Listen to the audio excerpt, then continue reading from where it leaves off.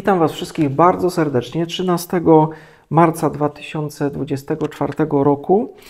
Y, a hasła biblijne, które mamy dzisiaj mm, w przewodniku z Biblią na co dzień, a zaczerpnięte są z y, Pisma Świętego, czytam najpierw z pierwszej księgi Mojżeszowej z 18 rozdziału i 19 wiersza.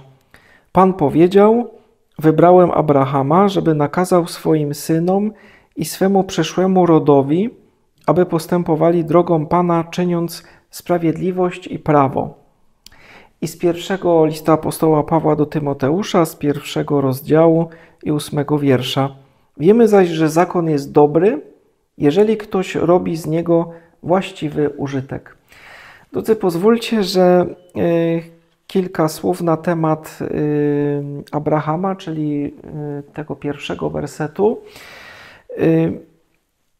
Te słowa wypowiedziane są przez Boga w takim ciekawym momencie, bo zaraz bezpośrednio po tym, jak trzej posłańcy przybywają do Sary i Abrahama, oświadczają, że za rok o tym czasie będą mieli syna. Pamiętamy, że Y, Sara wyśmiewa y, tych posłańców, nie chce uwierzyć y, w tą nowinę. Myślę, że oni oboje są lekko wstrząśnięci tymi nowinami. Abraham ma zostać ojcem już nie tylko syna, ale i całego narodu. Ma tych wszystkich ludzi, tych, tego jego potomstwa być jak miliony gwiazd na niebie, a uwierzcie mi, że to pustynne niebo jest niesamowite i tam naprawdę jest tych gwiazd bardzo dużo. Myślę, że ten widok, to zestawienie Abrahama bardzo poruszyło. No i jest taki moment, że Abraham, jako że był gościnnym człowiekiem i przestrzegał praw pustynnych, odprowadza jakiś fragment drogi tych posłańców bożych, a oni idą do Sodomy, bo dostali takie polecenie, że mają sprawdzić, co też tam w tej Sodomie się dzieje, bo y, skarga dotarła do Boga, że bardzo duży grzech w Sodomie y, istnieje i że bardzo źle ludzie tam się zachowują.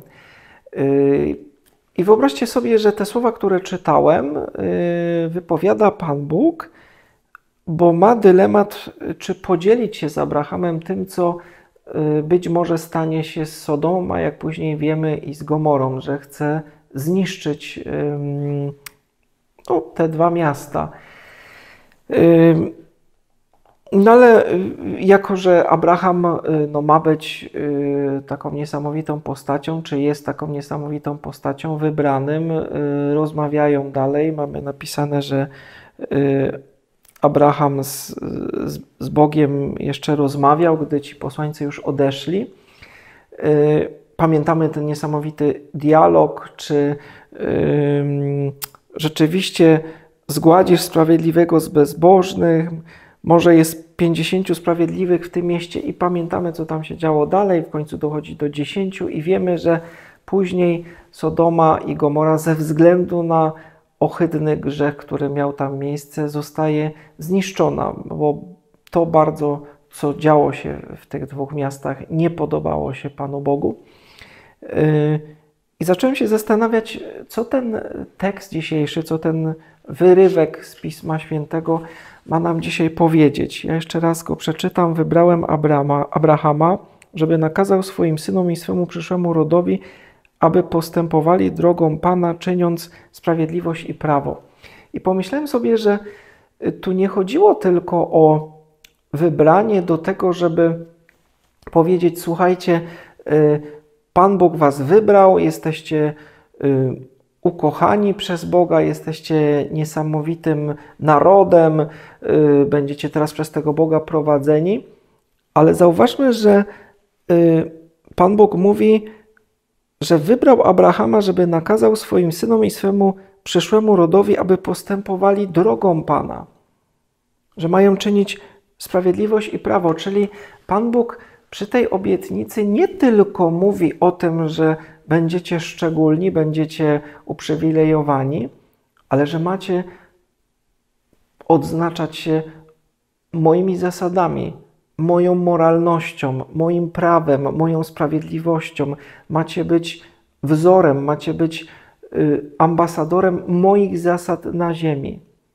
I drodzy, myślę, że my, jako spadkobiercy też y, tej obietnicy, ukochani przez Boga, zaadoptowani do Bożej rodziny w Jezusie Chrystusie ukrzyżowanym,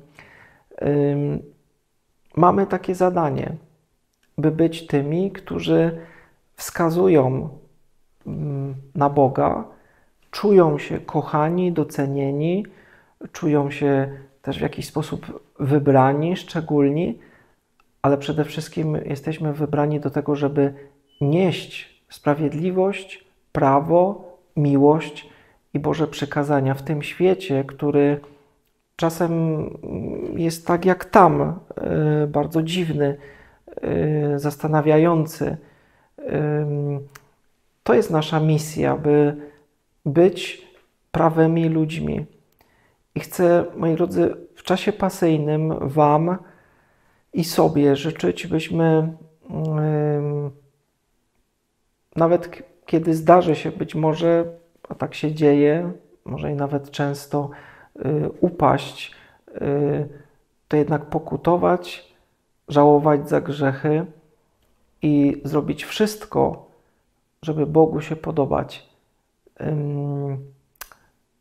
Życzę Wam w tym czasie pasyjnym, żeby y, odkrywać może fragment po fragmencie, krok po kroku, że to nasze powołanie, to nasze chrześcijańskie powołanie, Y, jest nie tylko przywilejem, ale też pewnym zobowiązaniem, bo bycie w relacji ze świętym Bogiem zobowiązuje nas do tego, by być tymi, którzy reprezentują Boga, więc są przedstawicielami Jego zasad. Tego życzę Wam i sobie. Niech Pan Bóg Was błogosławi. Dobrego dnia.